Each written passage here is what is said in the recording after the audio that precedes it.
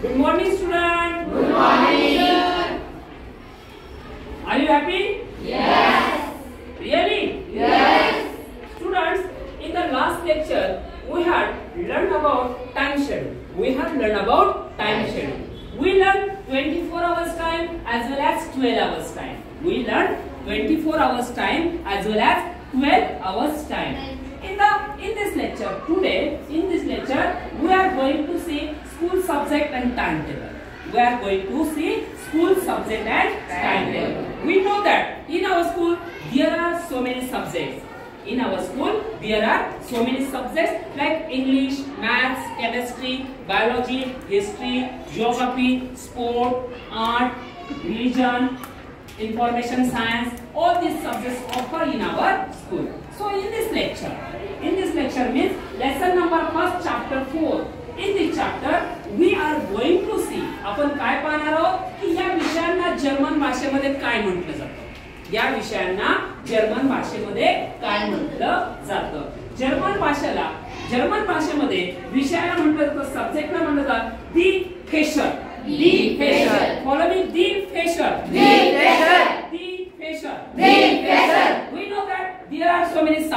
Like English, history, maths, geography, chemistry, biology, mathematics, all these subjects in our school. So today we are going to see we what do we call this subject in German language. What do we call this subject in German language? Yeah, we are going to see the names of the subject in German language. We are going to see the names of the subject, school subject in a German language. Follow me. English. English.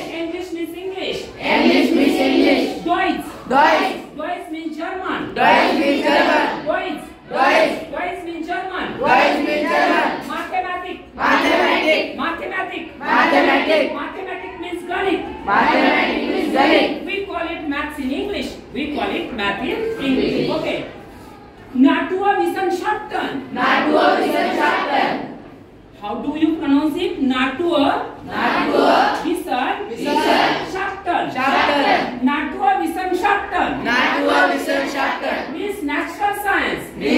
Natural science.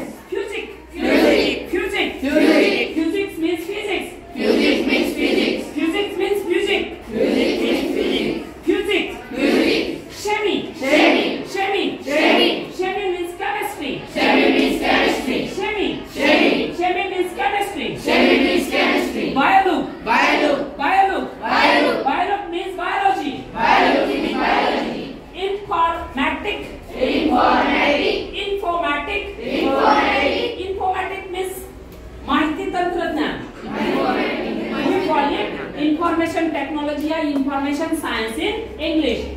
Guessist. Guessist. Guessist. Guessist. Guessist mean history. Guessist mean history. Guessist. Guessist. Guessist mean history. Guessist mean history. Geography. Geography.